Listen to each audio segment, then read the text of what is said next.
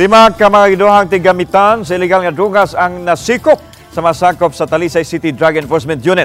Nasakpan silang iyong nigamit sa gidurahang shabu sulod sa usa ka bayag sa sitio Kwasar, Barangay Kansuhong, Dakbayan sa Talisay kagabi. Mato ni Police Lieutenant Colonel Ipriam Paguyod ang hipi sa Talisay City Police nga nakadawat og taho ang ilang operatiba kabahin sa illegal nga binuhatan.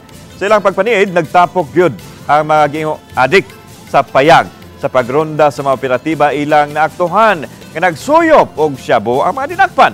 Nagkuhaan ang mga dinakpan sa giruang shabu nga mitimbang og 0.35 grams nga mo kantidad ug mokapin sa 2,000 pesos. Ang lima ang tak ng paskahan og kaso samtang gisubay sab sa kap- kapulisan kung kinsang tagiya sa drug den ug ang tinubdan sa illegal nga drugas sa lima ka mga dinakpan.